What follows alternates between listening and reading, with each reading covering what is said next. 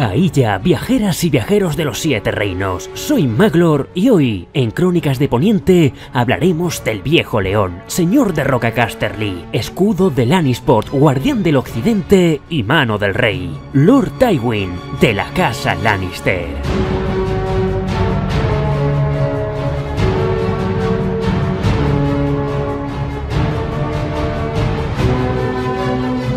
Hoy vamos a narrar la historia completa de Tywin Lannister desde su nacimiento hasta el final del libro Tormenta de Espadas.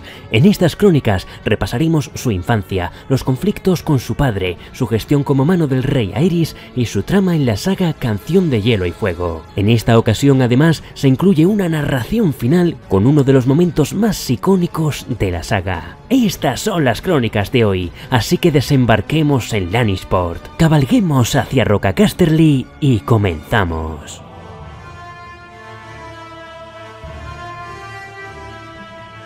Tywin Lannister nació en Rocacasterly en el año 242 después de la conquista. Sus padres fueron Lord Tytos Lannister y Lady Jane Marbrand, y según cuenta la leyenda, tal era el carácter del pequeño Tywin que cuando su abuelo Geralt le acarició su melena dorada, la criaturita le mordió el dedo. Tuvo tres hermanos varones, Kevan, Tiget y Gerion, y una hermana llamada Jenna. Los dioses otorgaron a Kevan un talante de seguidor, no de líder, por lo que siempre respetó a su hermano Tywin, y años más tarde se convertiría en su hombre de confianza. Su hermana Jenna, tres años menor que Tywin, compartía la misma inteligencia y astucia que su hermano, y siempre lo respetaba, pero no aprobaría el hombre en el que más adelante se convertiría. En cuanto a Tiget, la relación con Tywin siempre sería difícil, y Gerion era un hombre de risa rápida y presto a la broma, unas cualidades que no agradaban al futuro señor de Roca Casterly, pues si había algo en lo que no confiaba Tywin Lannister, era en la risa. Su padre se había encargado de aquello. Cuando Tywin tenía dos años, su abuelo murió y su padre Taitos se había convertido en señor de Roca Casterly. Fue conocido como el León Alegre, pues era jovial, amable y agradable, lento de ira, de perdón fácil y exceso de confianza. Prestaba dinero si se lo pedían, pero carecía de carácter para reclamarlo después. Al principio sus vasallos reían con él, y pronto todos se reían de él.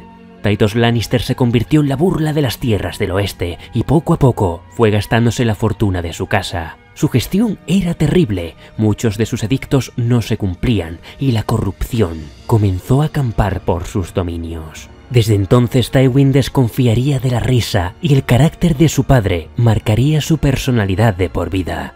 Los enemigos de Tywin siempre lo tendrían por un hombre férreo, inflexible, orgulloso y despiadado, ganándose así el respeto de sus abanderados, pero jamás su aprecio. Con tan solo 10 años, Tywin llegaría a enfrentarse a su padre por querer casar a su hermana Jenna con un hijo menor de Walder Frey. Delante de todos, el joven Tywin se opuso al compromiso haciendo que a Taitos Lannister se le pusiera la cara blanca como la leche y hasta el propio Lord Walder tembló al oírlo.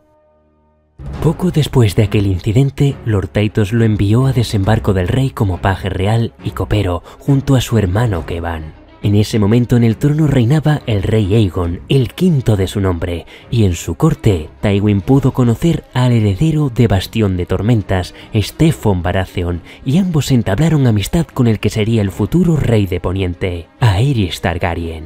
En desembarco del rey estaba también su prima Joanna Lannister, quien formaba parte de las damas de la corte que acompañaban a la princesa Raela, y todos aquellos niños crecieron juntos en la Fortaleza Roja. Tres años después de su llegada a la capital, nació Gerion, el último de sus hermanos, y un mes después, su madre Jane murió. Se dice que Titus Lannister, el león alegre, ya no volvió a sonreír después de aquello. Cinco años más tarde, en el año 260 después de la conquista, Tywin, Stefan y Aerys participaron en la Guerra de los Reyes Nueve Peniques, bajo el reinado del nuevo rey, Jaehaerys. Para entonces, Tywin ya era un caballero y cuando terminó la guerra se le concedió el honor de armar caballero a su amigo, el príncipe Aerys. Cuando Tywin volvió de peldaños de piedra, las batallas habían endurecido su carácter y al llegar a Rocacasterly se encontró con que su padre había tomado por amante a la niñera de Geryon y sus vasallos seguían sin devolver sus préstamos. Entonces Tywin decidió tomar las riendas del gobierno de su padre y exigió el pago de todas las deudas. Muchos pagaron de inmediato, pero otros, como los Rein de Castamir y los Tarbeck de Torre Tarbeck, se opusieron, dando lugar a la conocida rebelión de los Rein y los Tarbeck. Este es uno de los momentos históricos más destacados de Tywin Lannister, y si tenéis interés en conocer la rebelión, tenéis a vuestra disposición las crónicas tituladas Las lluvias de Castamir, donde se narran los hechos. En aquella ocasión, mientras Torre Tarbeck ardía hasta los cimientos, Tywin sí sonrió. Y en cuanto a la casa Rein, se dice que aún a día de hoy se pueden escuchar los gritos de los ahogados que yacieron en las entrañas de Castamir.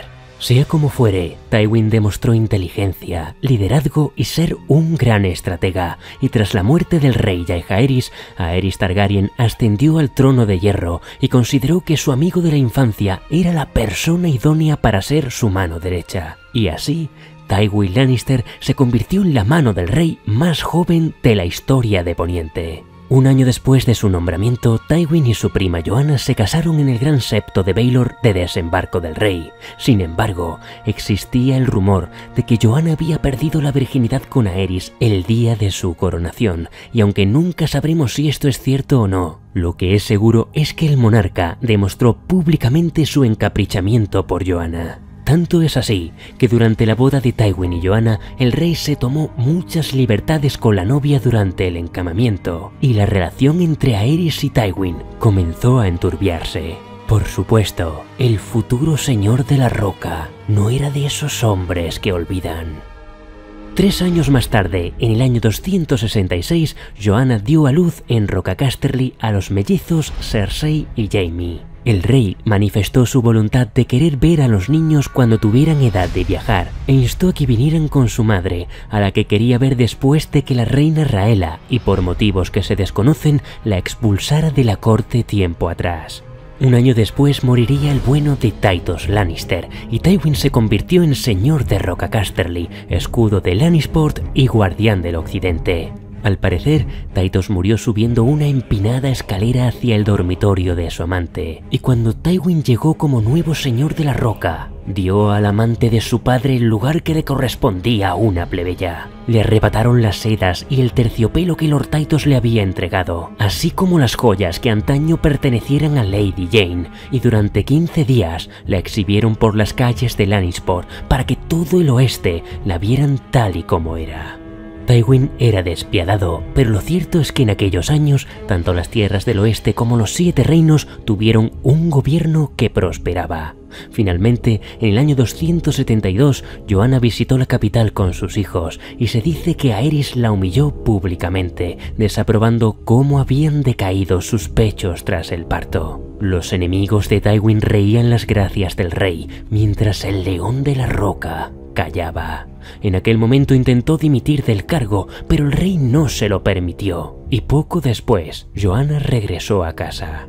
Y con todos estos ingredientes surgió una de las teorías fans más conocidas de Canción de Hielo y Fuego, pues un año después de su visita a la capital, en el año 273, Joanna dio a luz a Tyrion.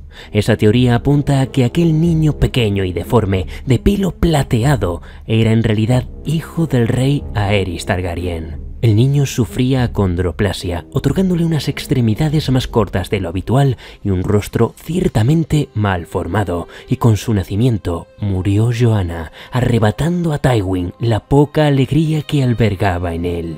No sabemos si en realidad Tyrion es hijo de Aerys o no, pero la realidad es que Tywin nunca consideró que fuera su hijo y mucho tiempo después le diría literalmente Las leyes de los hombres te dan derecho a llevar mi nombre y lucir mis colores, ya que no puedo demostrar que no seas mío. ¿Por qué dijo aquello? ¿Acaso sería por el dolor de la muerte de Joanna? ¿Quizá porque todos los enanos son bastardos a ojos de su padre? ¿O acaso dudaba de que Aerys hubiera podido abusar de Joanna antes de abandonar la corte en su última visita? Sea como sea, Aerys también recibió la noticia de la pérdida de Joanna y arrojó palabras duras contra Tywin, provocando que la amistad que una vez hubiera entre ambos se esfumara para siempre.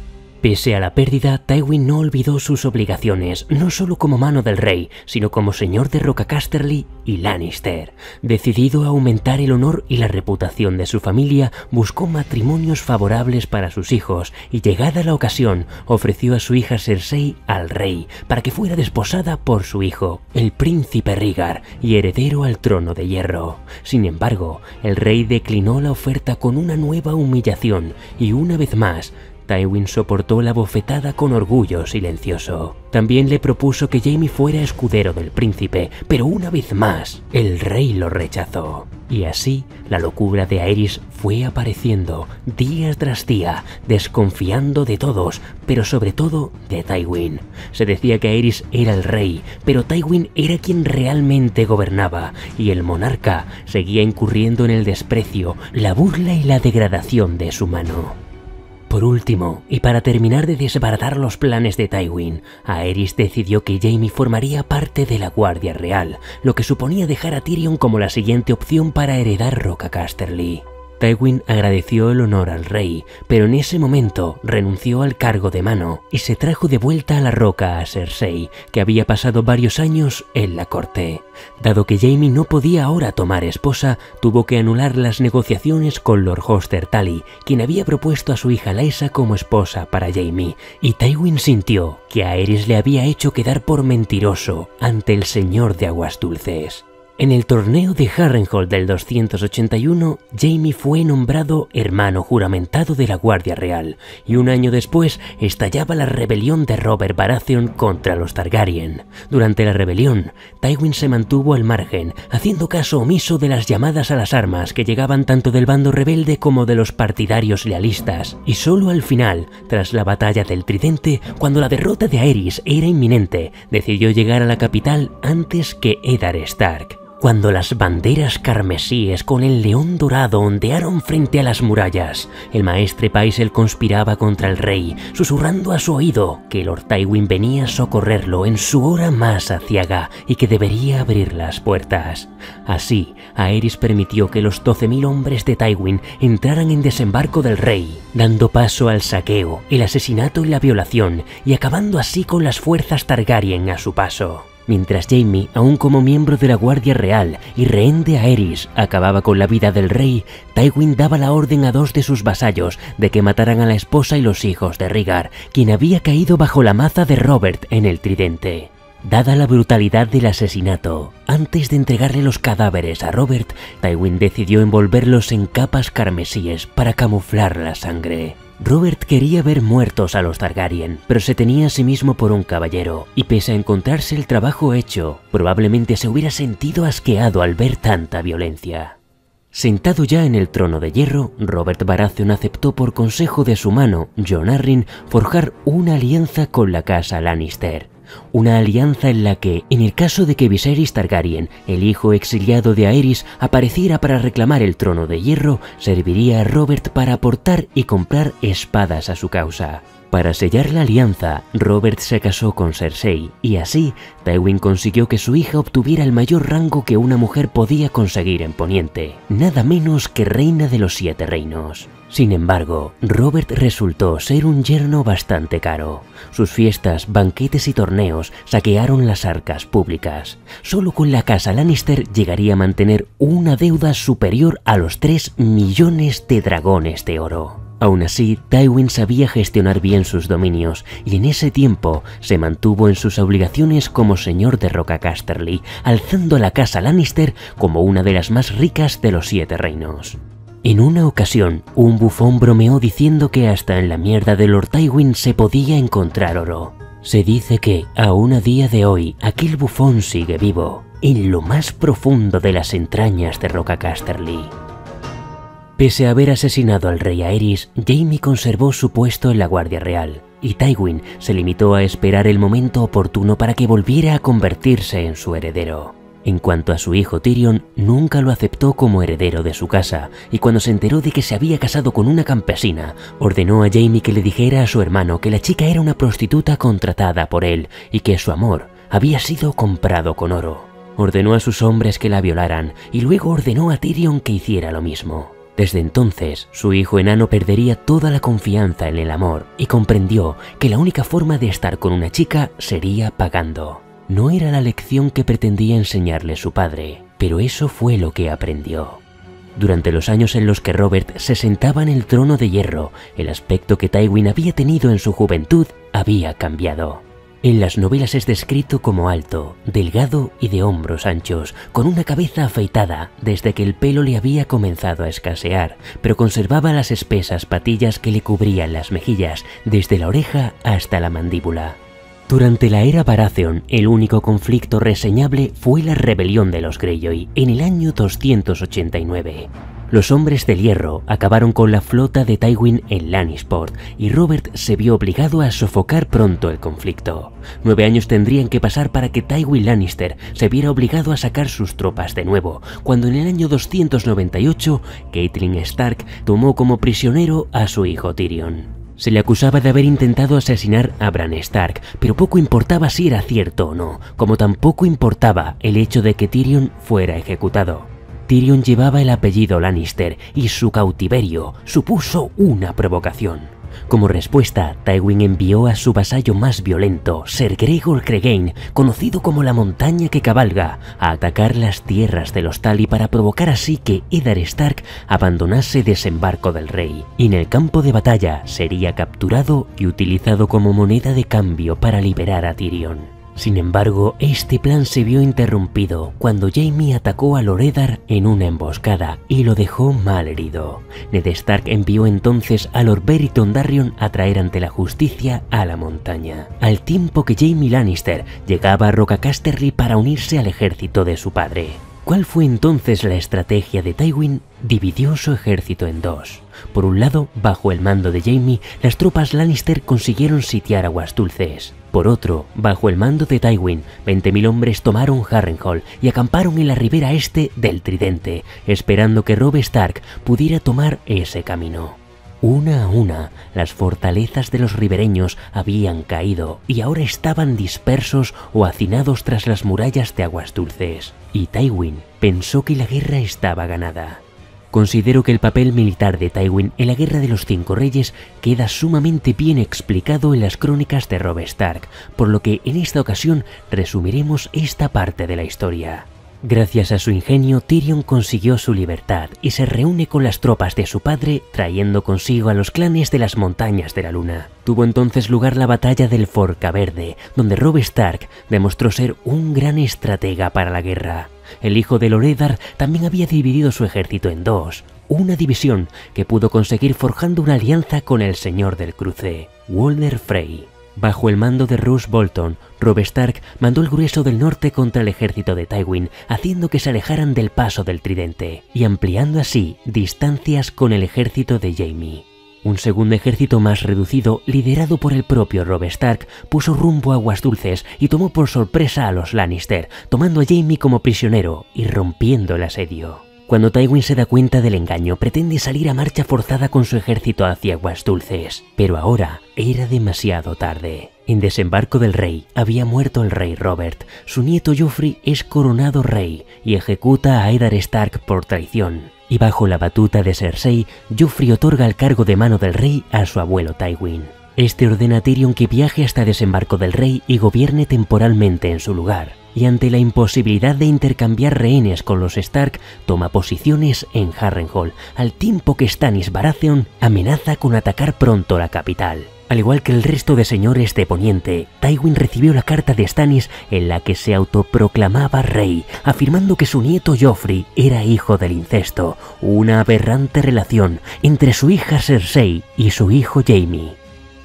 Durante semanas Tywin permanece en Harrenhal, paciente, mientras sus huestes continúan arrasando aldeas para que los lobos salgan de aguas dulces. Pero Robb Stark, ahora proclamado rey en el norte, comienza un ataque contra las tierras del oeste y Tywin se ve obligado a partir para defender sus propias tierras. Sin embargo, Edmure Tully, tío de Robb, les cortó el paso en el Forca Roja en la conocida como Batalla de los Vados, un retraso que permitió a Tywin recibir noticias preocupantes del sur. Renly Baratheon había muerto y Stannis se dirigía hacia desembarco del rey. Rápidamente Tywin se reunió con el ejército de Mace en una nueva alianza y juntos llegaron justo a tiempo para repeler el ataque de Stannis. Tywin recibió el título de Salvador de la ciudad, la misma ciudad que hacía 16 años había arrasado al final de la rebelión de Robert, y en cuanto retomó sus funciones como mano del rey, ordenó que rompieran las rodillas a martillazos a todos los capas doradas que habían desertado durante la batalla de Aguas Negras y ahora volvían a los barracones. Así, nunca volverían a huir. Ahora en la Fortaleza Roja empieza una nueva estrategia de guerra, haciendo honor a su frase. Algunas batallas se ganan con espadas y lanzas, otras con plumas y cuervos. Por un lado, comenzará a preparar el control del Valle de Arryn, proponiendo a Lysa Arryn devolver a su hijo el título de Guardián del Oriente a cambio del matrimonio con Petyr Baelish y la lealtad al trono de hierro. Por otro, aprovecha los errores de Robb Stark para forjarse tres aliados fundamentales. Como parte de su alianza, Robb había prometido a Walder Frey que tomaría por esposa a una de sus hijas, pero durante el ataque de las tierras del oeste, el joven lobo se había casado con Jane Westerlin, hija del señor del Risco y vasallo de Tywin. Para evitar que Rob engendrase un heredero, Tywin envió cartas a Cybele Spicer, la madre de Jane, que ofrecía una y otra vez té de la luna a su hija, diciéndole que favorecería el embarazo, cuando en realidad estaba evitando que otro lobo llegara al mundo. Otros cuervos volaron a Harrenhal, que ahora estaba en manos de Roose Bolton, vasallo de Rob. Históricamente, la casa Bolton había vivido enfrentada a la casa Stark durante siglos, y cuando Rob se casó con Jane, Bruce Bolton consideró que la guerra estaba perdida. Tywin solo tuvo que ponerle el caramelo sobre la mesa para que Bolton se lo metiera en la boca. Una traición a cambio del norte. El último aliado, el más voluble, el más orgulloso de todos, Lord Walder Frey, fue el más fácil. Rob había roto su alianza y le había escupido a la cara, por lo que no tuvo reparos en preparar la venganza bajo su propio techo. Aceptó una boda entre Ed Murtali y su hija Roslin para renovar la alianza con los norteños, y cuando Rob Stark y sus vasallos estaban desarmados y ebrios por la celebración, las lluvias de Castamir resonaron en el salón y los masacraron sin misericordia. Poco antes de la boda roja, Tywin entregó a Hielo la espada de acero valirio de Eddard Stark al armero Tobomot para que hiciera dos espadas, una que sería entregada a su nieto Joffrey y otra para su hijo Jaime. También ordenó a Ser Gregor Clegane que aniquilara a Bargo Hoat y a sus titiriteros sangrientos. Meses antes, Bargo había ordenado que cortaran a Jaime una mano, y la cabra fue lentamente y día tras día cortado a pedazos. Un día una oreja, otro día un pie, y así, poco a poco perdió todos sus miembros, toda su cordura y su vida. Al mismo tiempo, con la caída del joven lobo se había asegurado el control del norte, mientras con una mano nombraba a Roose Bolton guardián del norte, con la otra, Tywin había casado a Sansa Stark con su hijo Tyrion. Tras la supuesta muerte de Bran y Rickon Stark a manos de Theon Greyjoy y sabiendo que la muerte de Robb era inminente, Sansa terminaría convirtiéndose en heredera de Invernalia y una pieza clave en el tablero. Pese a su desacuerdo, Tyrion se casó con ella, y este compromiso impidió los planes que los Tyrell tenían para Sansa, al mismo tiempo que Tywin proponía a Cersei un matrimonio con el joven Wylas Tyrell, matrimonio que nunca se vería cumplido, pues la vieja Olena Tyrell se opuso. Precisamente Olena tenía en su manga otro giro en la guerra por el trono de hierro. Durante la celebración de la boda real entre el rey Joffrey y Marjorie Tyrell, el joven monarca es asesinado y Tyrion es el principal sospechoso de su envenenamiento. Pese a su inocencia y tras un juicio por combate en el que Oberyn Martell muere a manos de la montaña, Tyrion sería sentenciado y condenado a muerte.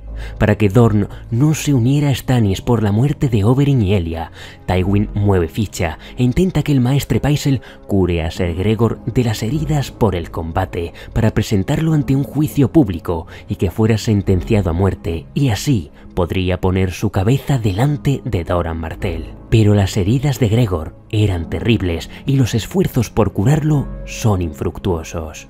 Y mientras Tywin Lannister seguía jugando al Juego de Tronos, una pieza se movió por voluntad propia en el tablero. Jaime liberó a su hermano Tyrion antes de la sentencia y antes de despedirse de él, le confiesa que aquella chica con la que se casó cuando tenía 13 años no era ninguna prostituta, sino una campesina que se había casado con él por decisión propia. Su padre le había obligado a decirle aquello, pues quería que Tyrion aprendiera una lección que algún día le agradecería. Y Tyrion quiso agradecérselo. Antes de tomar el barco hacia esos, Tyrion atraviesa los pasadizos de la Torre de la Mano y llega hasta los aposentos de su padre. Allí descubrió a Shay en la cama de Lord Tywin. ¡Qué curioso! Después de todo, el señor de Roca Casterly también hacía uso de las prostitutas. Tras matar a Shay, Tyrion cogió el puñal que descansaba sobre la mesilla de su padre y se armó con una ballesta. La cargó, fue hasta la puerta y encontró a Lord Tywin donde sabía que estaría, sentado en la penumbra del retrete de la torre de la mano, con la túnica enroscada en torno a la cintura. Al oír las pisadas, Lord Tywin alzó los ojos y Tyrion le dedicó una reverencia burlona. Mi señor, Tyrion. Si tenía miedo, Tywin Lannister no daba muestras de ello. ¿Quién te ha liberado de la celda? Ojalá te lo pudiera decir, pero hice un juramento sagrado. El eunuco. Decidió su padre. Haré que le corten la cabeza. ¿Esa ballesta es la mía? Suéltala. ¿Qué harás si me niego, padre? ¿Castigarme? Esta fuga es una estupidez. No te van a matar si es eso lo que temes. Mi intención sigue siendo enviarte al muro, pero no podía hacerlo sin el permiso de Lord Tyrell. Deja la ballesta y pasaremos a mis habitaciones a hablar de este asunto. También podemos hablar aquí. Puede que no me apetezca ir al muro, padre. Allí arriba hace un frío de cojones. Y para frialdad, ya he tenido bastante con la que me has mostrado tú. Así que dime una cosa, solo una, y me marcharé. Es una pregunta muy sencilla, lo mínimo que me debes. Yo no te debo nada. Toda mi vida me has dado menos que nada, pero esto me lo darás. ¿Qué hiciste con Tisha? ¿Tisha? Ni siquiera recuerda su nombre, pensó Tyrion. La chica con la que me casé. Ah, sí, tu primera ramera. La próxima vez que digas esa palabra, te mataré. No tienes valor para eso. ¿Quieres que lo averigüemos? Es una palabra muy corta y por lo visto te sale muy fácilmente. Tyrion hizo un gesto impaciente con la ballesta. Tisha, ¿qué hiciste con ella después de darme la lección? No me acuerdo. Pues inténtalo. ¿Ordenaste que la mataran? Su padre frunció los labios. No había motivo para semejante cosa. Había aprendido cuál era su lugar y, si mal no recuerdo, se le pagó por su trabajo. Supongo que el mayordomo la echó y se fue. No se me ocurrió preguntar. ¿Se fue? ¿A dónde? A donde vayan las rameras. Tyrion apretó el dedo.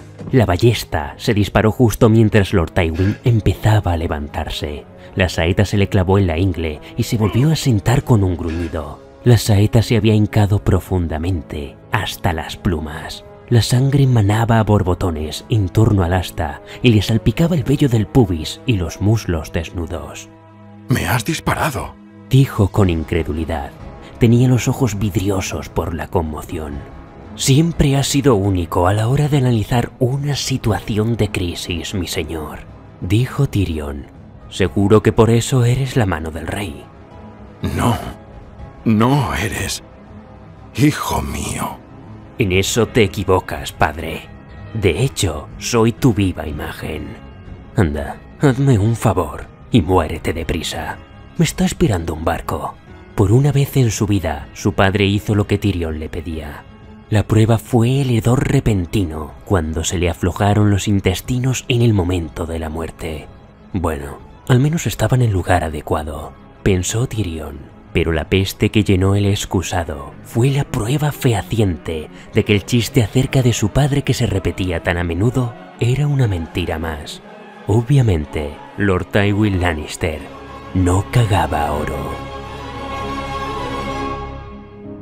Tras la muerte de Tywin, su hija Cersei ordenó a todos los presentes en la escena del crimen que si alguien mencionaba la presencia de Shay en la habitación de su padre, perdería la lengua. Durante siete días y siete noches, los restos de Tywin, ataviado con su mejor armadura, permanecieron en el gran septo de Baelor. Ironías de la muerte, su boca estaba rígida en una mueca sonriente, y como señal de lo podrida que estaba el alma del señor de Rocacasterly, el olor que desprendía su cadáver hacía que muchos de los presentes sintieran arcadas y hasta el rey Tomen vomitó ante su presencia. Finalmente sus huesos abandonaron desembarco del rey, acompañados de seis hermanas silenciosas, una guardia de honor de 50 caballeros y un buen puñado de señores del oeste. Y así, con la despedida del viejo león, dio comienzo el declive de su legado.